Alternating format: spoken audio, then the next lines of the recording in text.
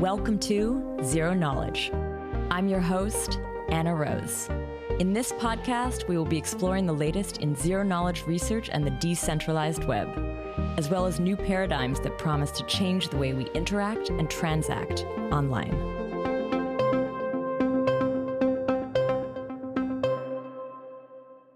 This week, Guillermo and I chat with Brian Retford and Jeremy Bruestle from RISC Zero. We talk about their previous work in cloud and how ZK offered unique solutions to long-standing scaling problems. We cover topics like RISC-V, building VMs, and talk about how RISC Zero aims to build a system that could support a robust, decentralized public cloud. But before we start in, if you haven't yet, be sure to check out the ZK Whiteboard Sessions. It's produced by ZK Hack and powered by Polygon. This is a series of educational videos that will help you get onboarded into the concepts and terms that we talk about all the time on the ZK front. It's a great place to start learning about ZK tech. We also have a study group going right now focused on the ZK Whiteboard Sessions, so be sure to check that out over on the ZK Hack Discord. Also, keep your eye out for the upcoming ZK Hack 3. We are returning with our virtual multi week event once again on November 22nd. There will be workshops and puzzle hacking competitions. Keep an eye out on Twitter and in Discord for more information. Now, Tanya will share a little bit about this week's sponsor. Today's episode is sponsored by Mina Protocol. If you're a developer looking to get hands on experience building zero knowledge applications, then you should apply for Mina's ZK App Beta Testers Leaderboard.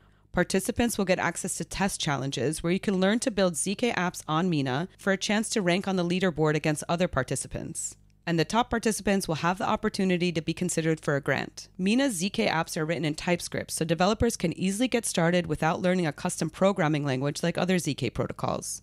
Learn more about the ZK App Beta Testers Leaderboard and how you can start building ZK apps by heading to minaprotocol.com forward slash ZK podcast. That's minaprotocol.com forward slash ZK podcast. So thanks again, Mina Protocol. Now here's Anna and Guillermo's interview with RISC Zero.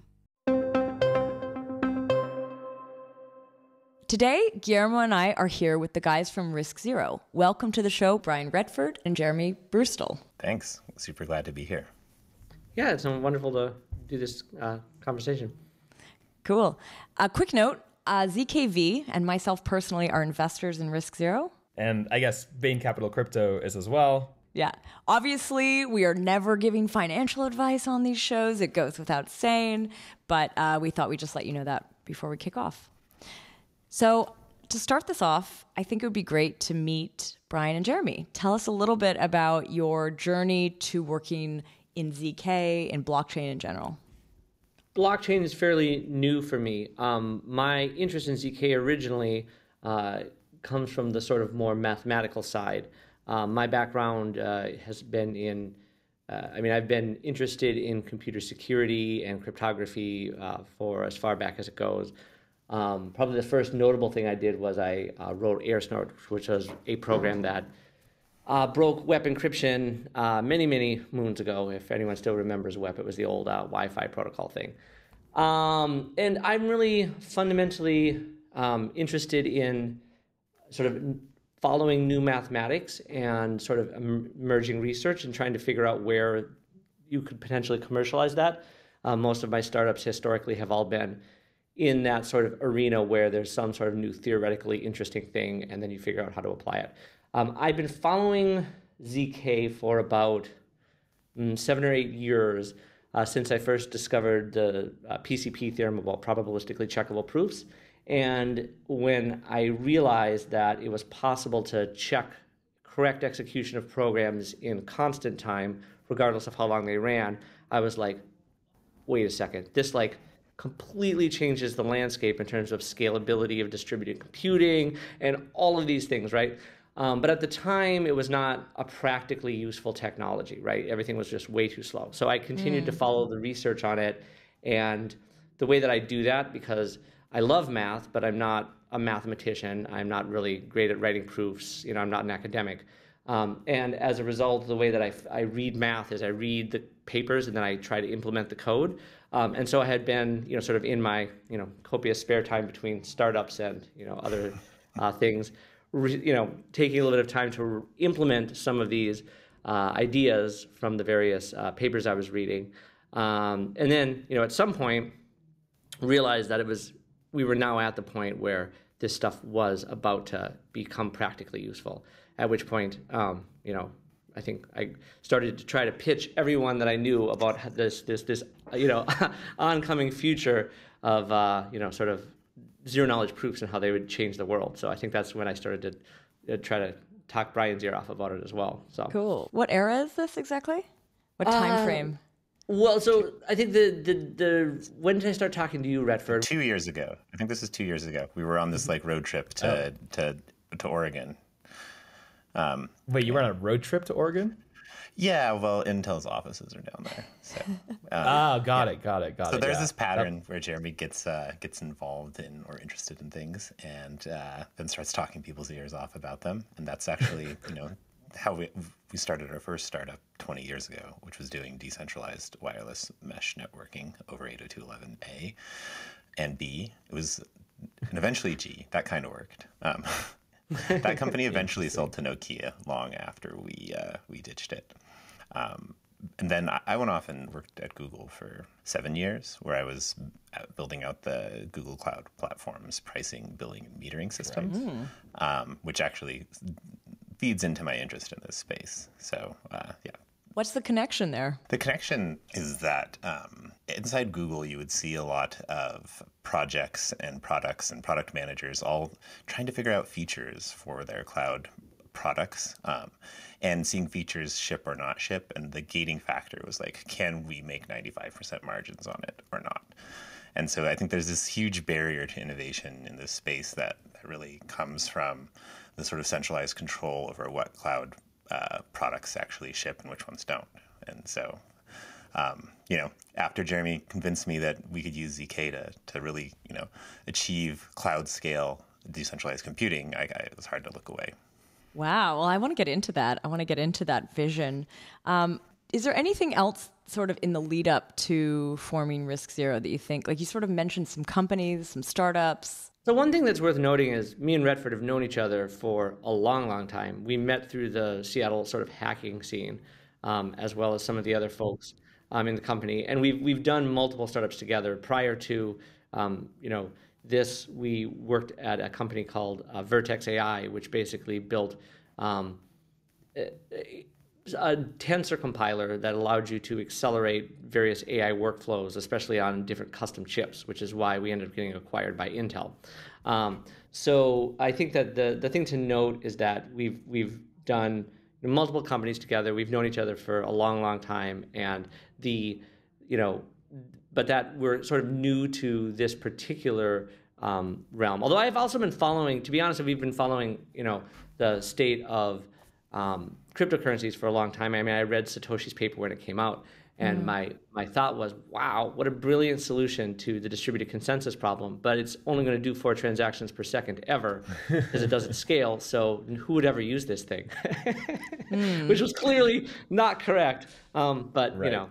Um, when Jeremy, you know, talked to me into doing this company, he's like, "Really, we're gonna do a blockchain company?" I mean, I think cryptocurrency is cool. You know, I've used it for various things at, you know in the past but um, uh, was this prime this was like bear market a little bit. It was like 2020 is this what we're talking about?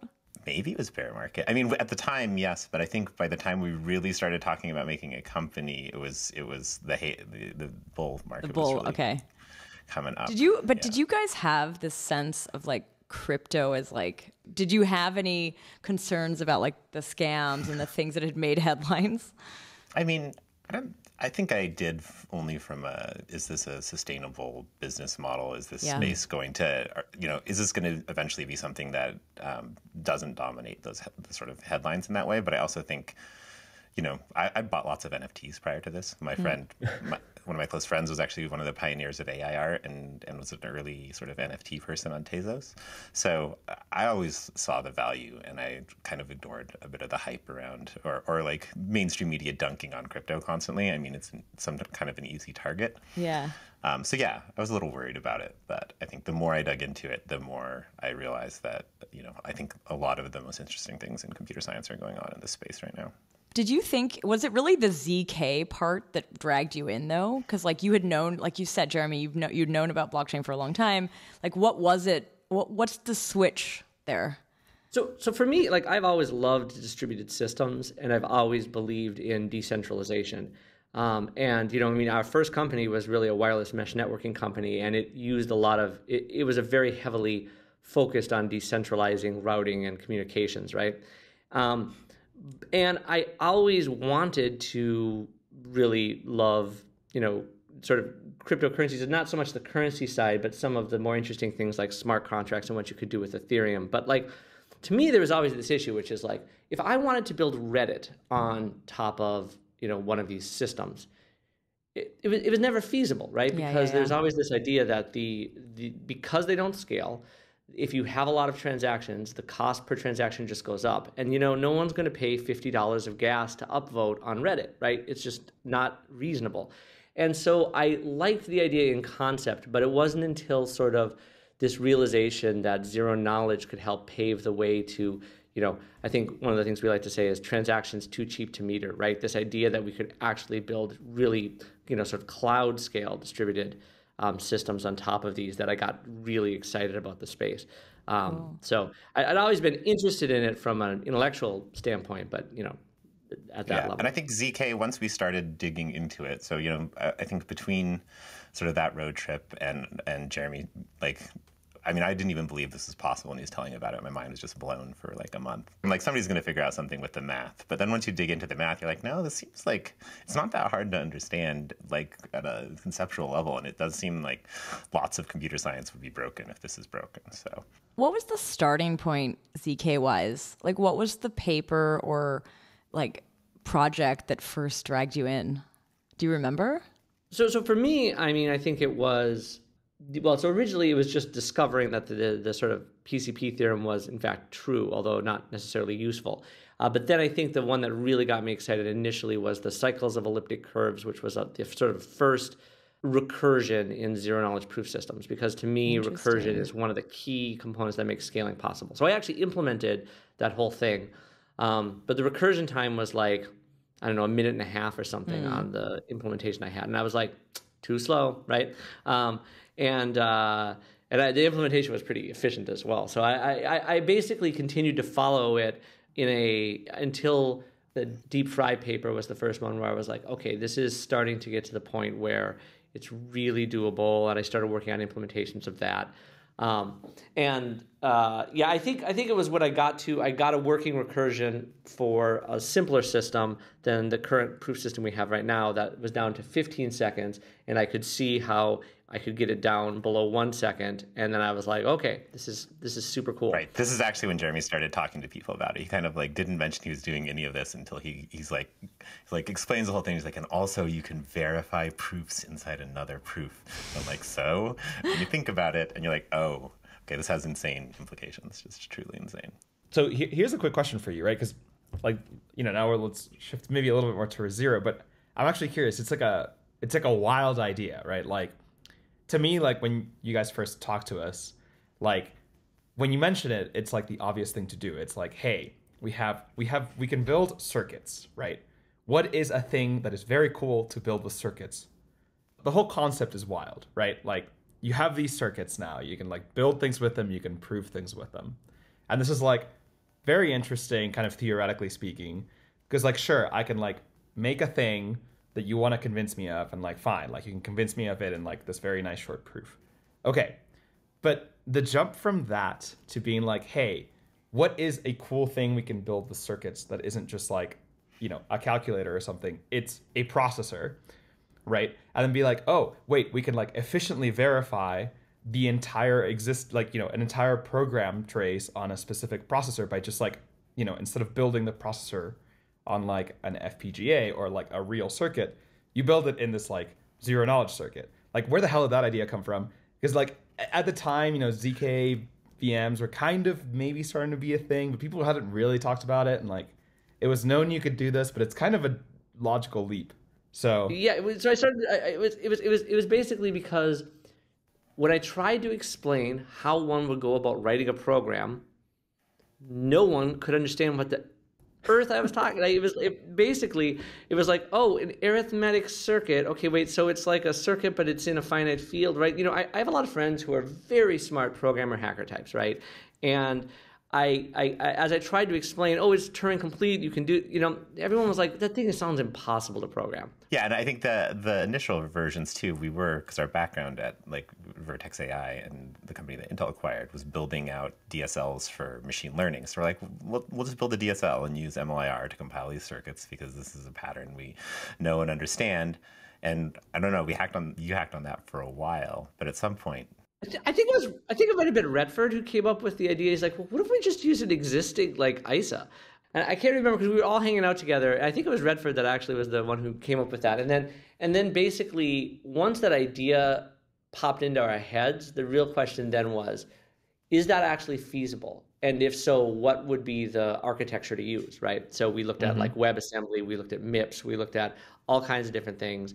And with the with the this sort of question of how small of a circuit can you build and still run something that's an existing processor? Because you know we did a lot of compiler work. Our previous company was a compiler right. company.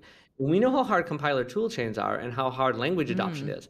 And so this idea that you know you would just build an entire functional compiler tool chain and a new language and the whole nine yards and get adoption that's like a huge amount of engineering on the other hand if you can build a circuit that um, is able to run something that already exists, then all that upper part of the stack you get for free, right? Hmm. I say not just the upper part of the stack too, but the entire ecosystem of libraries and existing work that all the other developers in the world have done over the you know course of time. I was going to say we were just talking recently about you know um, this this sort of example of using doing image cropping um, using uh, you know zero knowledge proofs and um, from you know Dan Boneh and one of the one of the thoughts was well actually inside the you know, risk you know zero zkVM, we could decode a, a GIF and then crop an image and then re-encode it to a JPEG or whatever because I could just import the you know libraries for doing that um, you know directly because it's an already existing language, right? Right. I remember like a year ago, like you came up to us and you were like, "Hey, what if we just like did RISC-V? You know, like one of the restricted ISAs." Sorry, I say what an ISA means, like an instruction set uh, instruction set. What does A stand for? Do you guys architecture. remember? Architecture. It is architecture. Okay. Um, you know, it's like, what if we just like did this and then like had all of RISC-V, in other words, all of LLVM, which is like this thing that you can comp- that everything compiles to, including like Rust, C, C++, anything you want. Um, so you can compile everything down to LLVM and then compile LLVM down to like you know this like micro like micro architecture, I guess, this like RISC architecture, right? Uh, and then just be like, oh yeah, cool. Like now we just like can use everything you want on this thing, but also it's zero knowledge because like that's that's like a thing you can just build in zero knowledge. It's just like yet another circuit, right? Um, and I was like, wait, why the hell did no one think of this? This is like insane. Well, Eli the, actually, yeah, uh, there was a tweet where Eli, um, who's amazing, and you know we're obviously huge fans of Eli's, um, Eli Ben-Sasson, the, the inventor of STARKs. Mm-hmm. Um, you know, somebody asked him like, "Why did you invent Cairo? Why didn't you just, you know, um, use MIPS or something. He's like, oh well, that's not going to be possible for at least five years or something. So, uh, so I think that there's just when you if you there's this sort of like you know if you start building something in a in a nation space, it's pretty easy to kind of get stuck in thought holes. Hmm. So I think we just you know we effectively just had a second mover advantage, and we're just kind of already primed to think about the world this way. One of the questions I did have, I wanted to ask, was about the name RISC Zero. So, Guillermo, you just mentioned RISC-V usually spelled risk V. Mm-hmm. Um, yep. I'm guessing it's risk zero knowledge. Is that where that yeah, comes from? Idea. Yeah. Very was, nice. Uh, was, you know, I'm good at like one thing in life, and it's making up really stupid things like that. I was. This is a great name, though. This is like honestly, like probably one of the best. Like, like just it's just Nerd like such a good titles? reference. Yeah, yeah. It's just it's really good. It's like it's perfect, and like people are like, it's quite polarizing. It's quite polarizing. Really? Early, no way. Yeah the, the, one of the earliest people I pitched on it was our product manager from Intel, and he was like, "That is the stupidest name. You have to change it." Ooh. okay, and wait, you just defined risk V, risk 5 mm. but I actually don't know anything about this. So oh, can we yeah, Jeremy, actually say what that it's, is? That's actually it's a, why, talk about why we chose it, Jeremy. Yeah. Yeah. So so basically, RISC stands for Reduced Instruction Set Computing, mm-hmm. and this is this idea. Um, you know uh, early microprocessors, uh, there was a question of should you make the instructions for the processor complex and do lots of things, or should you try to boil them down to the smallest possible set of instructions, the most simple way to represent a program? Um, you end up having to run more instructions, but the processor becomes much simpler to build. You can run it at higher clock speeds, and your compiler has to be smarter. Right. So, so it's basically that. That's RISC-V is a very modern um, new RISC instruction set that's learned from all of the previous ones. And so it's like super minimal and very capable and well designed. Um, and so when we looked at it, it was definitely by far the sort of easiest of the existing instruction sets or VMs out there that we could implement, right? right. You know. Yeah, and it also has no IP encumbrances. So x86 is the most notorious CISC or complicated or complex. I'm not even sure what the C stands for anymore. So you know, implementing x86 would probably be harder than building a ZK EVM. Um, maybe, maybe not. Jeremy would know. But um, uh, you know, then if you're if you're not doing that, you're basically looking at you know ARM or MIPS, uh, and there's a whole bunch of other ones that maybe you could think about, but. Um, ARM ARM is ARM has IP encumbrance, and MIPS used to until very recently, but mm-hmm. also is a bit more complex. But RISC-V also comes with a bunch of bonus features. Mm. Um, in addition to being open source, it has a complete battery of conformance tests. So we know that our processor implements risk the RISC-V specification because, well, at least insofar as the tests capture that. But on top of that, they actually have a formally uh, formal model for for what the RISC-V chips look like. So in the kind of formal methods work we're doing, at some point we'll be able to you know really speak very confidently about the, the nature of the system that we're building. What exactly now are you building then? Like, are you building a ZK VM where you can run something like RISC on it? I don't know if that's how you're supposed to say that at all, or is it? Is that that's exactly correct? what happens? Yeah. Okay. So like if, if you if a programmer writes you know like. Uh, Sudoku game or uh, uh, Mao, the card game. I know some people trying to do that in, in, in Rust or something and just compiles it. Then it runs on top of this VM, just like a ZK EVM might run Solidity bytecode. Mm-hmm. Um, this runs RISC-V code. So any so we support C++ and, and Rust. The compiler compiles this down into RISC the RISC-V ISA, and then this runs um, inside this VM. It's really like having a little like Arduino or microcontroller that's like attached and living inside your system, but it's virtual and it can't lie about what it does. Yeah. And also, you don't, it still has the same kind of ZK properties where you can hide inputs uh, and so forth, as well as hide the program. You can, know you can just commit to this functional commitment idea. You can commit to knowing the hash of a program that produces uh, uh, mm-hmm. or acts in a certain way. Yeah you just you've sort of flipped as you're describing it you flipped a little bit between the zk vm zk evm um, this is a zk vm right? This is not for Solidity. All those languages you mentioned are not Solidity. So, do you still see yourself a little bit in the camp of the ZK EVM slash ZKVM teams? Because there's a lot of groups yeah. that are trying to do something like this. So there are two ways you could think about. Um, obviously, you know the Ethereum ecosystem and developer community, especially since I've gotten involved in the space, just blows me away. The, yeah. the the events and and all of the people uh, just building in the space. So you know we're by no means uh, trying to detract from that ecosystem, and I think there's a lot of ways in which you know risk the RISC Zero actually uh, can contribute to that ecosystem. So it is possible to compile Solidity code to LLVM. We haven't played with that very much, mm. just because you know um, time. But another thing you can do is run the EVM on top of RISC Zero. Oh. So you can actually compile. Well, not, you can't do compile Geth yet because our Go supports like, well, the Go support will be fu- fully functional in a bit, but um, you know, one thing at a time. Um, but there's also Rust implementations of the EVM, and that you can compile, and you can actually, so you can run Ethereum programs on uh, a EVM running on top of RISC-V. So mm. you know hmm. you can. The, a nice thing about having a general purpose processor architecture like this as your base zk proving system is that you can in fact run other VMs on top of it. Um, there's actually people, and you know they haven't told me exactly why they're doing this, but running an x86 emulator on top of RISC-V and then proving the results of Linux kernel boot ups on x86. it has something to do with gold bars. Um, that's all I can say. Wait, what is the What? point of this? Sorry, I'm like, I, the, the, the person hasn't told us exactly. It has something to do with like physical asset tracking and sensors associated with that at logistic points and stuff like that. I see a lot of applications for this, honestly. But that's wait, but I'm, I'm surprised. Like a lot of sensors just like fully just have Linux instead of using some like real time operating system that's really I small. I yeah. He did not get into the specifics. Okay, well, that's fair. Fine. All right. Um, Do you like in the ZK part of the ZK VMs? Are you talking about privacy, or are you mostly fo- focused on the scaling quality? We, we absolutely care about privacy. Um, and uh, I would say that both are very important to us. Um, in terms, so so we are we do fully support zero knowledge, um, and we support both zero knowledge of the um, execution of the program as well as uh, we can even make it such that you can prove you ran the program you said you were going to run, but without revealing the details of the program. The use cases for that are a little more obscure.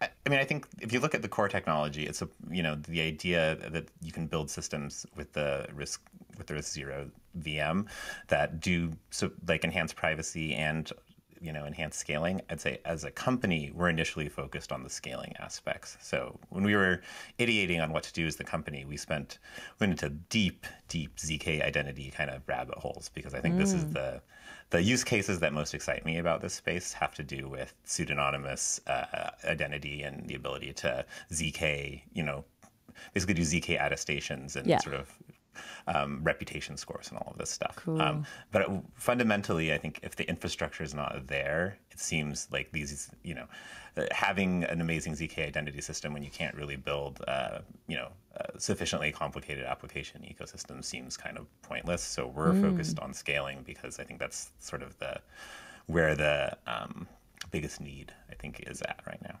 Yeah, I mean it's table stakes basically, right? Like, I if I want a distributed Reddit that uh, that has zk, I can do all kinds of cool things with the identity. But if I can't actually build the system in the first place, it's sort of not relevant. So here's a quick question. Uh, I think we discussed this prior, but um, you know, RISC-V or any architecture does not often have like a notion of here is private data and here is public data, right? And we're talking about privacy here.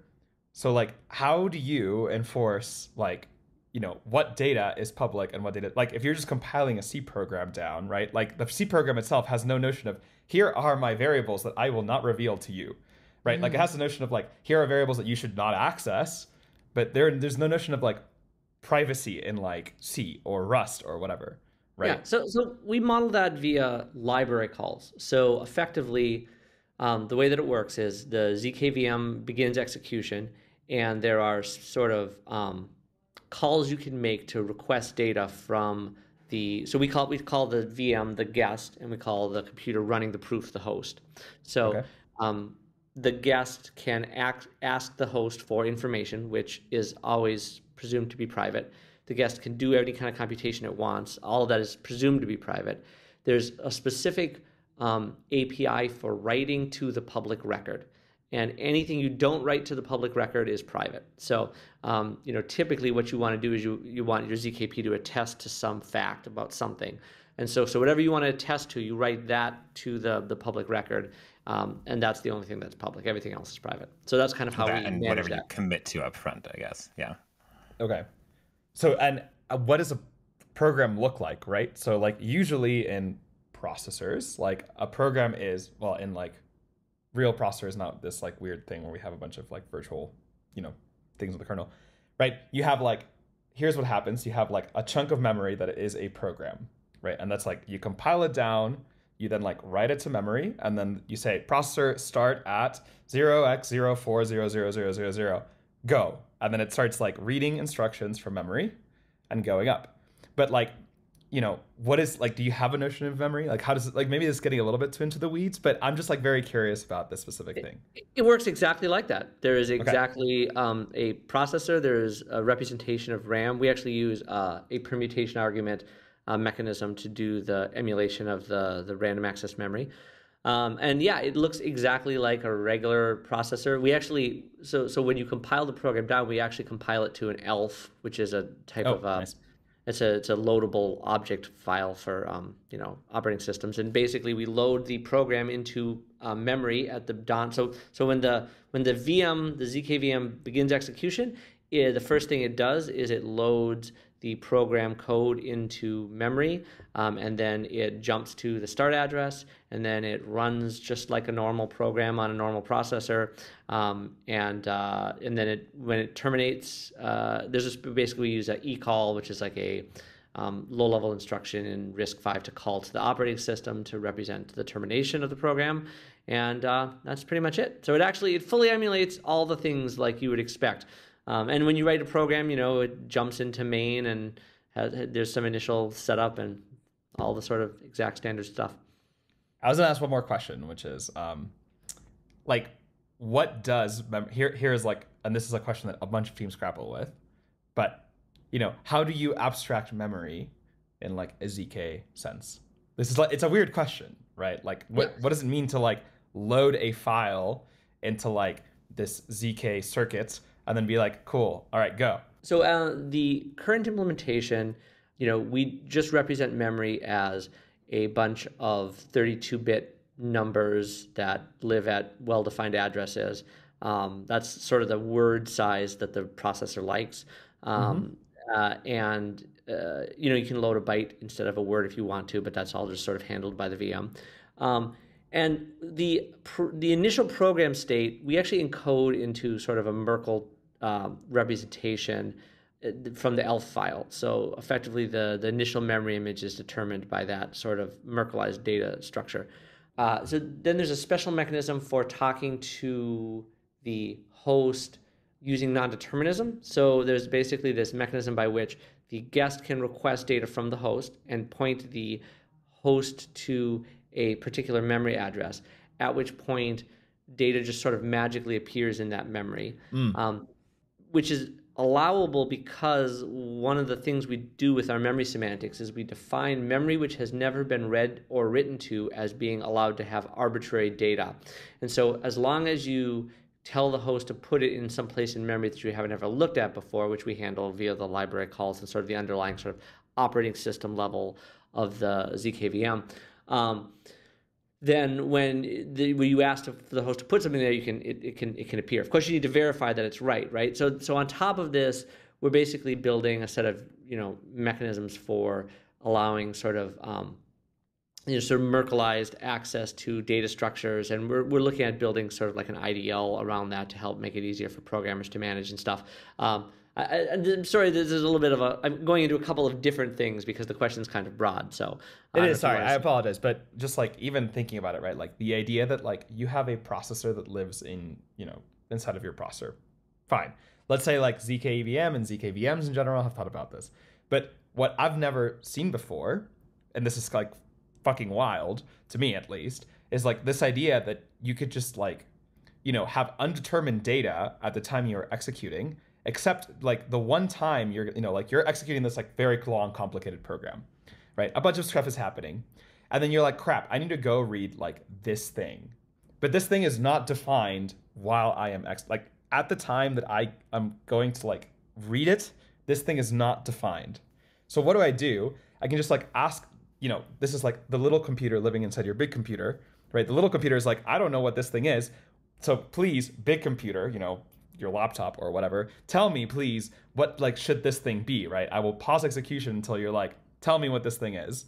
And then you just like go and insert it and then it just continues happily as if like yeah. everything was cool the entire time but it's like wild right Yes, although you're not guaranteed that like anything that happens on the host side is going to produce something a proof that's interesting Reasonable. to talk about. Of course, right? which is why we get into these kind of Merkleized data structures. Like if you know if you call out to the host and it just accesses a random URL and dumps data back from it, then you can't really speak about what the characteristics of that are. That's right. So, that's right. That's right but it, it, does allow you to do sort of the check and verify, right? If I want to do a square root, mm-hmm. I can always ask the host, hey, please put the square root of this number here.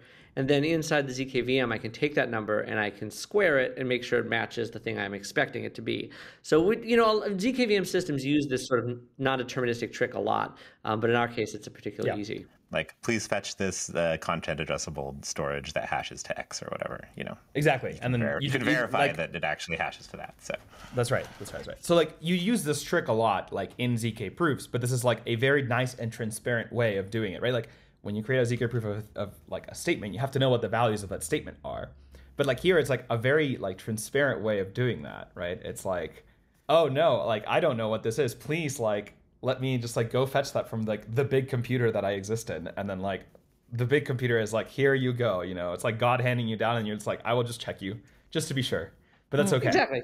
right? It's interesting because in some ways it inverts the sort of notion of you know if you look at you're running some program in Linux and then you want to call into the operating system, you fundamentally the operating system is more trusted than the you know sort of program running. In this case, it's kind of like the opposite. It's like there is an operating system. You can call out to the operating system. It'll hand you data back, but then you better check it because actually the trusted part is the the program that's running. Um, so it's kind of an interesting inversion in that regard. So a lot of the ZK VMs that we've been learning about use STARKs or they use FRI and Snarks somehow. Like they'll do like a recursion step using something that STARKs actually uses as well. But why are most of the ZK VMs using at the very least parts of STARKs or actually using full STARKs under the hood? So, so largely it's because STARKs are particularly efficient at proving um, circuits who have a repeated structure. And in this case, the repeated structure is time. So the idea is is that um, uh, you know a, a job of a VM is there's the state of the processor at time t, and then it computes the next state at time t plus one and time t plus two. It's basically executing the same function, if you will, over and over again, stepping time forward. And STARKs are really well suited for that. Uh, the AIR representation, you know, has this already built-in notion of um, that, and and it, so it's a perfect match, right, um, for a sort of something that wants to look like a digital circuit running over time. So this is the AIR feature. So this is different from R1CS in other kinds of snarks.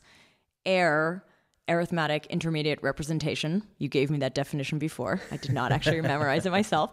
And I, I, I sort of I have a visual of this that it's like time-based rounds, kind of like it's going equal time. But why do you need that exactly? Well, so if you think about it, it's interesting. The, the, the analogy between a you know actual digital processor and these sort of arithmetic circuits is really strong, right? Um, they both like you know if you look at a digital circuit, you've got wires and then you have like gates, and in an arithmetic circuit, you have numbers and you have these operations like multiplies, for example. And in a real um, digital circuit, there's this idea of clock cycles and combinational logic. So you've got this combinational logic, which is just like a feed forward circuit. Some inputs come in and it processes through, and then later some outputs come out.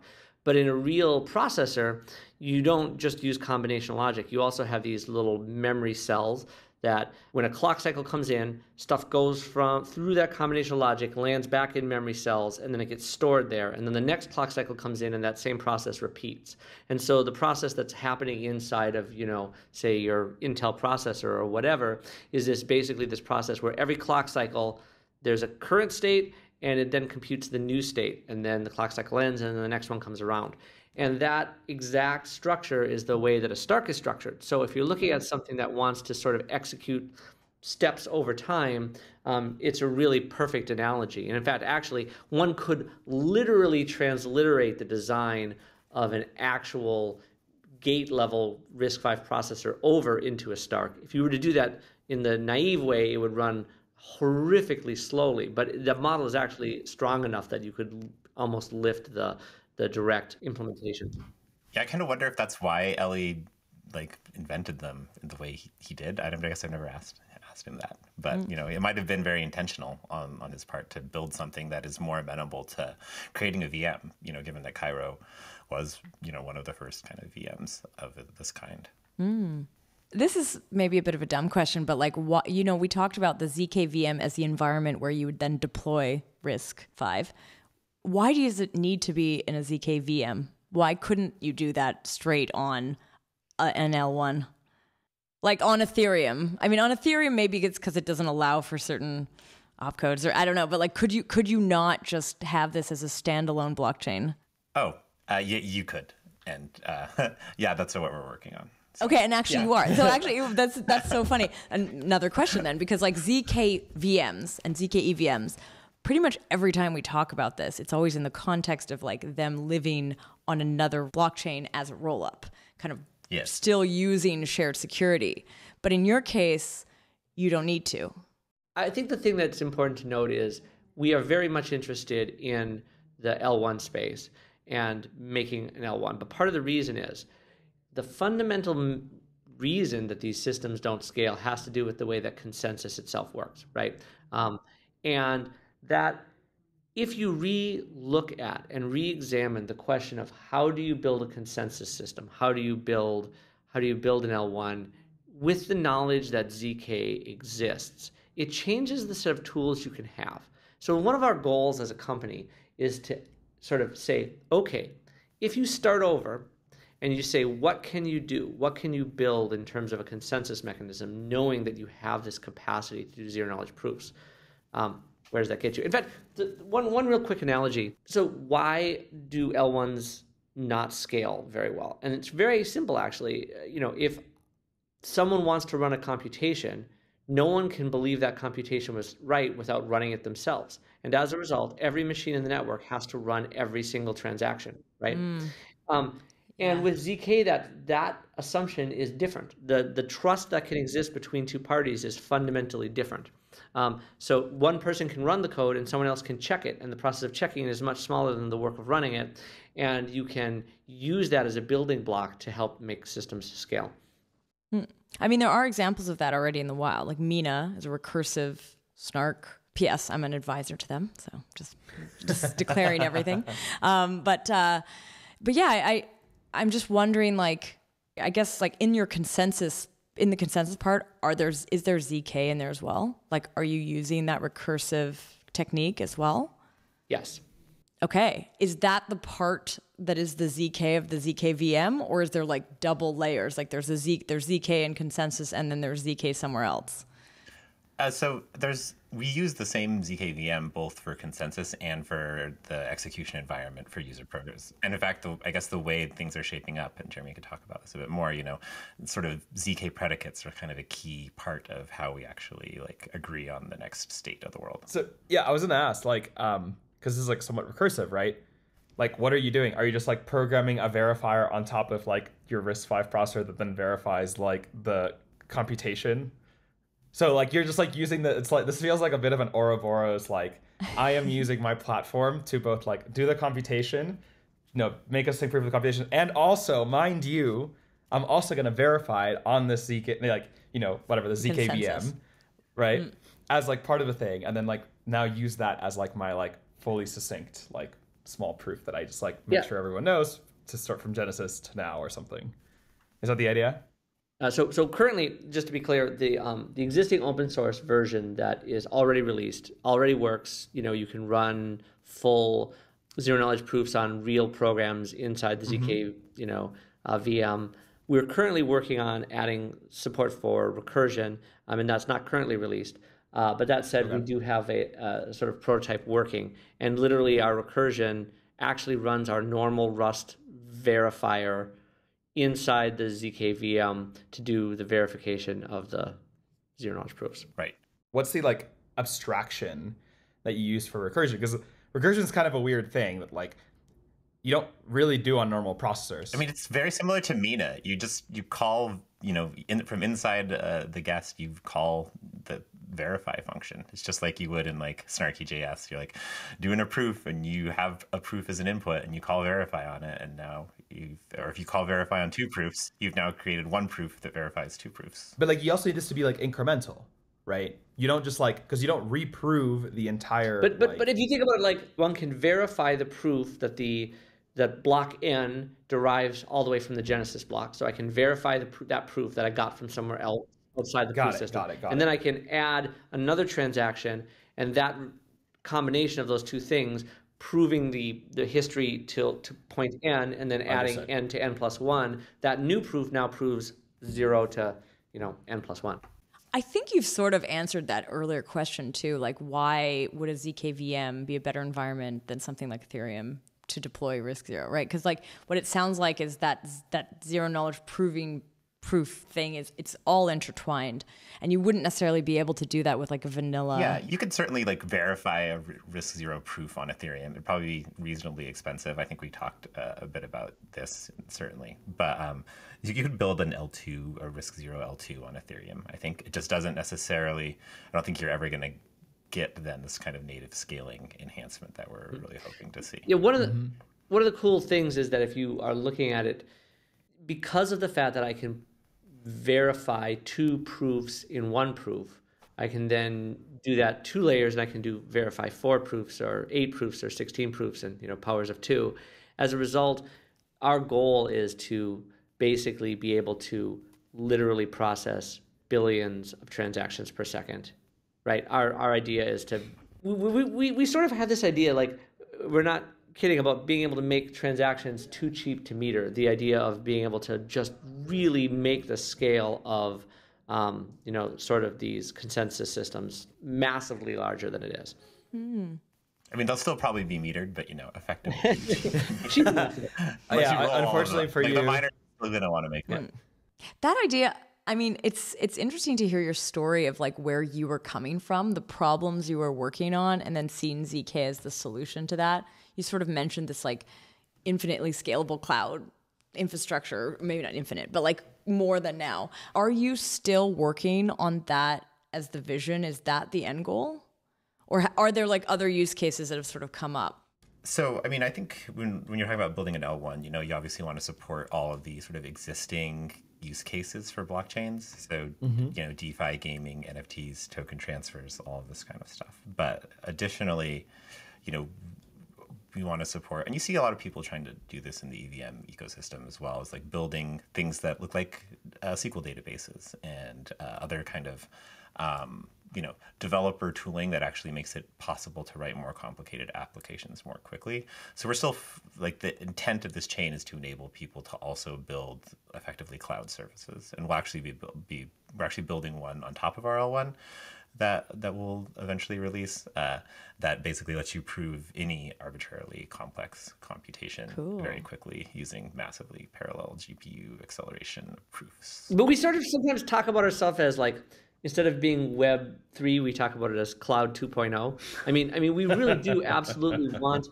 to construct a decentralized, um, you know, um, public cloud. You know, write something that uh, you could run real. You could build like you could build a social media, you know, um, system on, or you could build you know real end user applications that are, are scale. You know. where cloud usually you like relied on these like international database like databases kind of all over the world everything would be very very fast in this case are you like actually imagining every person's every like node runner's machine or miner validator whatever it is they are the data center Yes.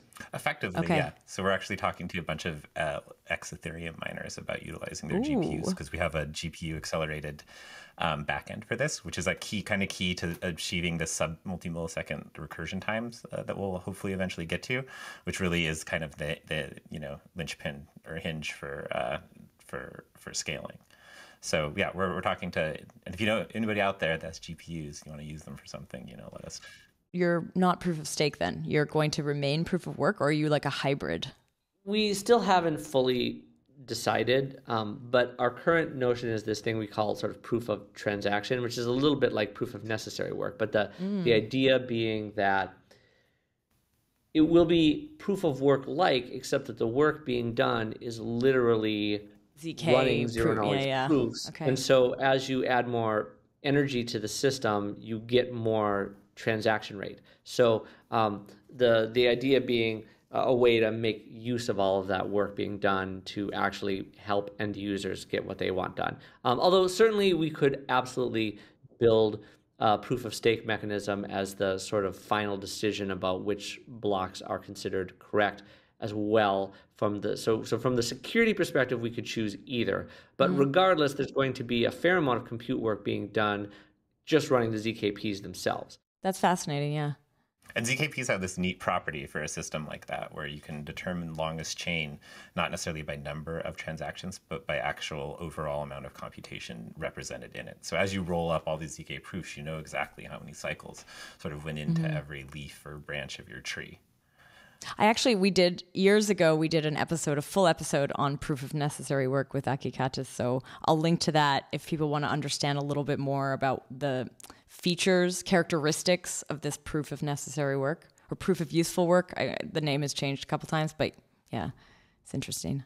Uh, on the topic of, um, I guess, scaling, is fir- first things first is, you know, you're talking about a processor that lives inside of a real processor. So you can talk about something weird, like how many megahertz, you're like, does it, you know, does it actually run at? Like how many cycles per second? How many instructions per second can it actually do? And so here's, so now I- this, this is a very concrete thing that I can ask, how many uh, cycles per second does your current tiny processor run at inside of like a, you know, normal let's say a normal CPU, and then you, I heard you said you had a GPU prover, so I'm also curious about those numbers. Yeah, so so currently on my Mac, um, What what Mac is it? uh, I guess it's the new to dox um, it. new M1 uh, Mac. Yeah, new, new, okay, no, just like Tell all one, the no, new hackers. M1 Pro. That's right. Yeah, yeah. That's good. So so on my on uh, so currently on my on my M1 Pro, um, I get about thirty thousand cycles per second um, Okay. uh, for execution. Now, um, sort of with the versions we're working on, we anticipate that I, I'll actually we actually support currently on our GPU acceleration, which is not released.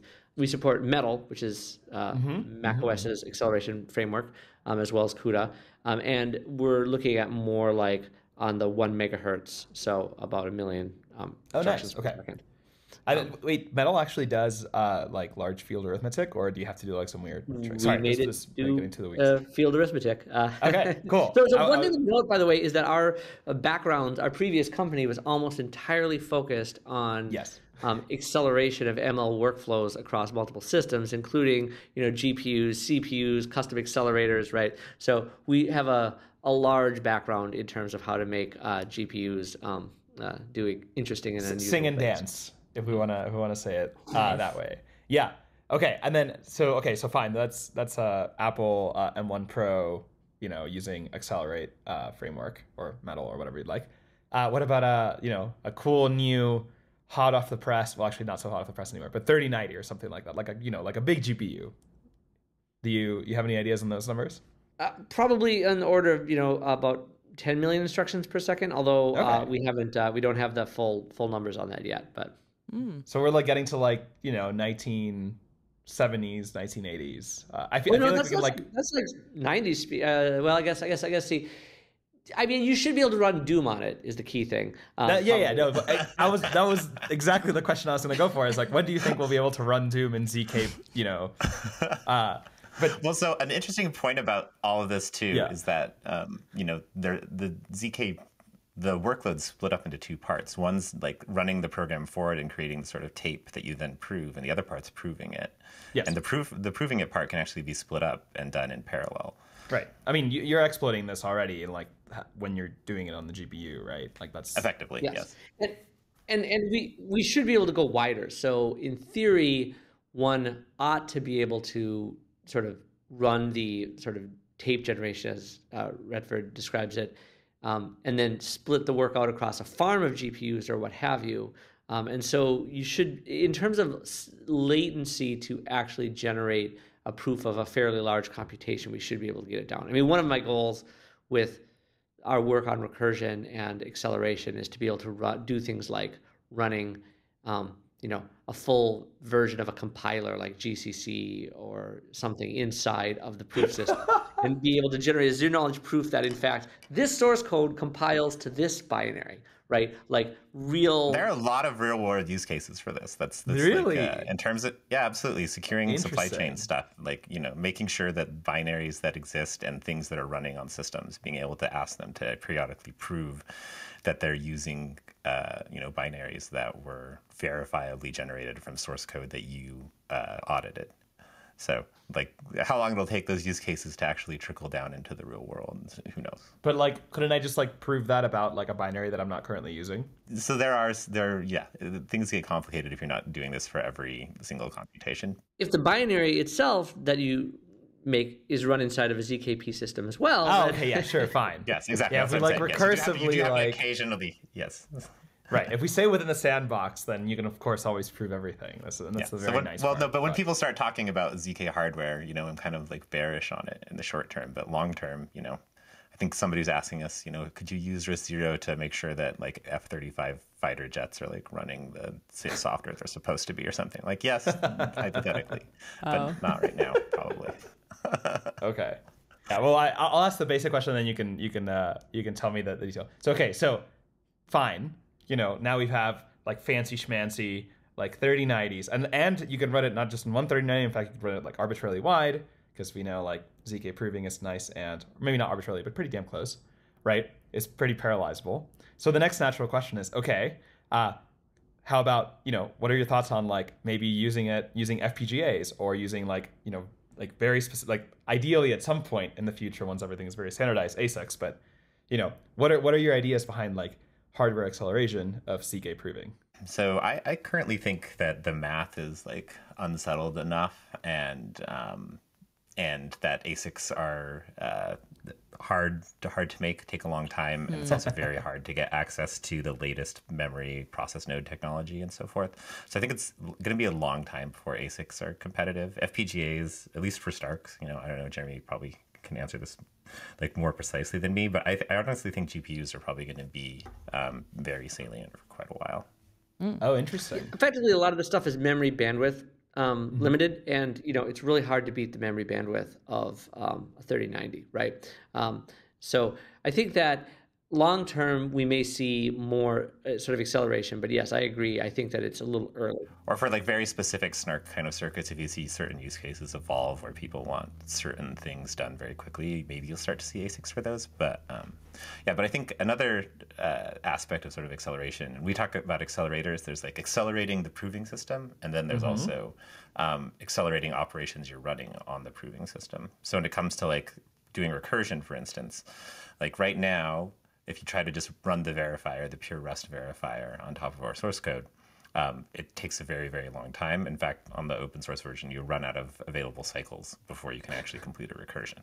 Um, but we also have an architecture for building accelerator circuits. So if you think about like the a chip in your laptop, you have a GPU, but you also have like cryptography accelerators, you have networking accelerators. There's like really like about a hundred different chips on a sort of modern microprocessor.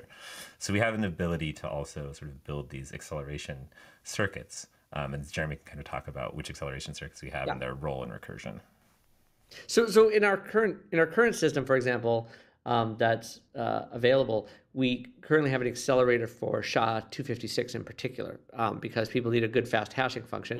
And yes, absolutely, you could write SHA-256 on normal RISC-V, um, you know, machine code, and it would do all right. But you can do much much faster if you write a specific circuit that does that specific thing. So, um, in the sort of next version of stuff, we're going to have additionally a finite field accelerator, which is particularly relevant for recursion. Um, we're also considering adding a big int uh, modulus multiply accelerator, which should enable a large number of um, sort of elliptic curve kinds of use cases to be run efficiently. Um, and you know we're continuing and some also some additional um, you know hashing functions. I mean, effectively, if you think about you know if you want to build something, if you wanted to say run you know Geth on top of the RISC-V ZKVM, um, then you know much of it would actually run just fine. But some of the you know heavy cryptographic components take a lot of cycles, and so if we can if we can move those into accelerators, um, then that's a, a much better way to go. I just want to make a quick clarification because when you're talking about you because because we kind of circled into hardware and then out, when you're saying accelerator circuits, you're talking about virtual circuits still, right? Like this Correct. is not Yes, in very much so. Okay. That's right. What are they are they just like libraries? What are they? So, so basically, we have this RISC-V circuit, uh, which represents the computation of a normal RISC-V processor, um, and we can just put sort of next to that in the arithmetic, you know, circuit representation another circuit that does say SHA-256, and then based on sort of what cycle we're running and what the RISC-V says, we have this way of that for those two circuits to interact.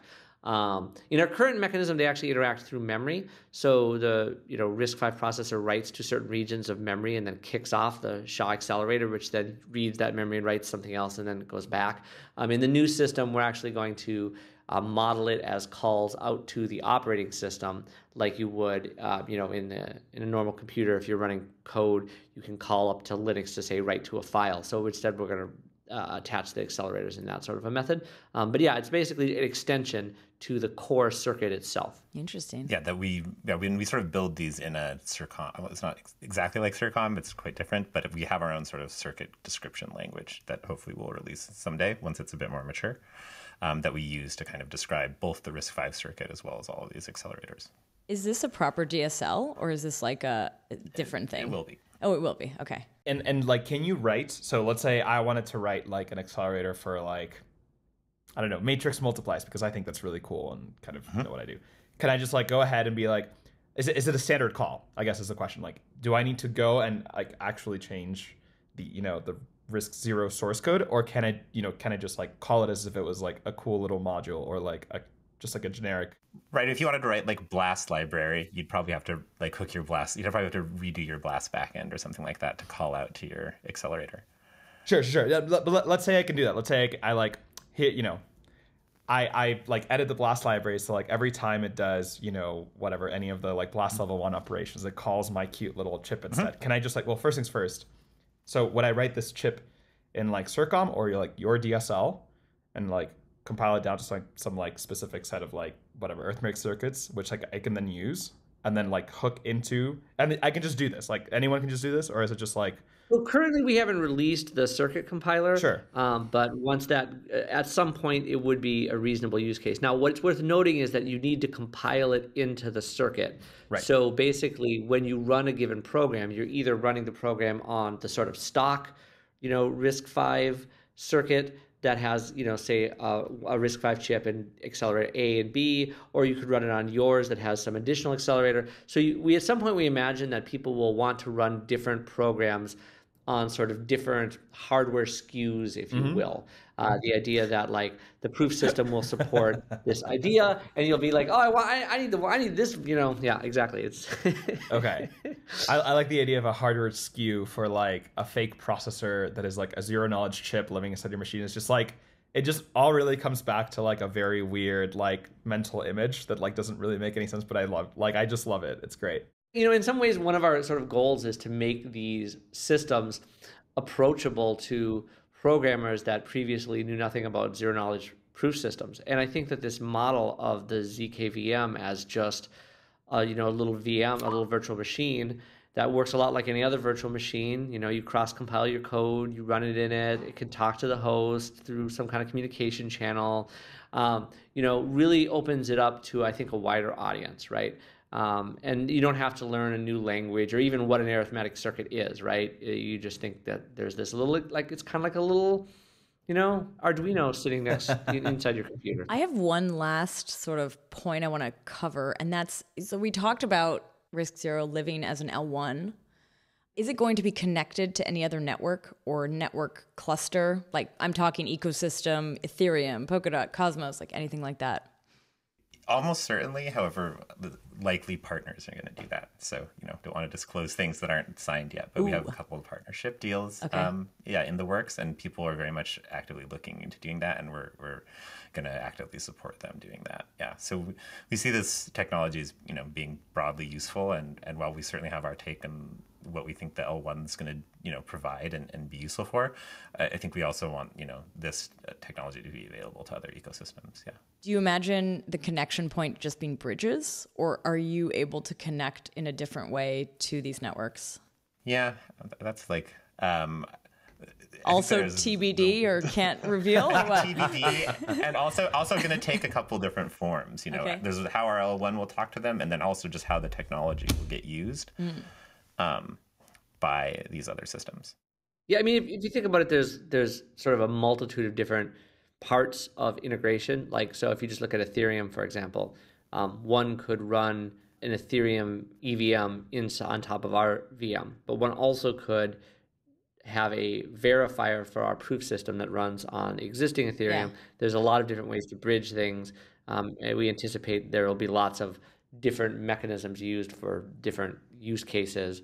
Um, so I wouldn't say there's a one size fits all answer to that question. But certainly in terms of all the sort of ZK light client bridging stuff that everybody's doing these days, I think there's a lot of interesting potential applications there. But I haven't really delved into the details myself. Last thing, maybe you can give us a little bit of a sense for the timeline, the roadmap. When are you live? Can people already use this? Yeah, where are you at?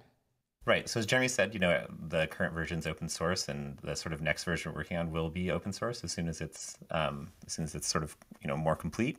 Um, but we are uh, when you talk about the sort of blockchain and this uh, very fast GPU proving service, we're we're working on a DevNet, and we're hoping to have um, you know have that be public sometime. Uh, like early next year, late this year, but we will have a sort of private sign up, um, and we'll we'll be you know sending that out uh, uh, over Twitter probably mostly and various other distribution channels. So a couple people have signed up, and you know we're hoping hoping to get this into people's hands you know pretty soon.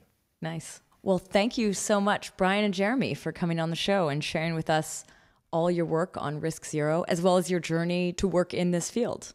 Yeah, thank you guys. It was super fun, actually. Sorry I devolved into some weird tangents, but it was kind of Oh no, I mean that's the whole point of this podcast. Yeah, tangent podcast. All right. Thanks again, Guillermo, as well, for coming on for this one. All the way Thanks, from Anna, Bogota. Big fan. Yeah. Very excited to actually you know be on it. When we started the company, it's like maybe someday we can be on this. Whoa! Today's your day. nice. All right. Thanks a lot, guys. I want to say a big thank you to the podcast team, Henrik, Rachel, and Tanya, and to our listeners. Thanks for listening.